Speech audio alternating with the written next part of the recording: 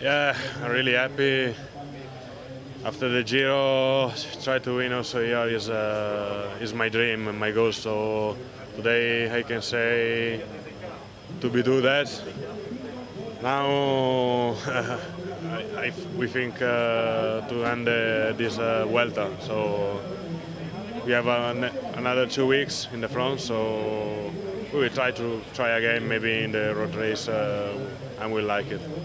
Did you come to La Vuelta to get some kind of a revenge after the World Championship? Uh, after the was, uh, I, I don't know if the team wanted me or not in the Vuelta, but uh, I push a lot for here with G because uh, we work a lot before the Giro and also after. So to be here now is uh, is amazing. To fight for a gold uh, uh, position uh, is is hard, but uh, we will try also in the future. Was it a perfect course for you today?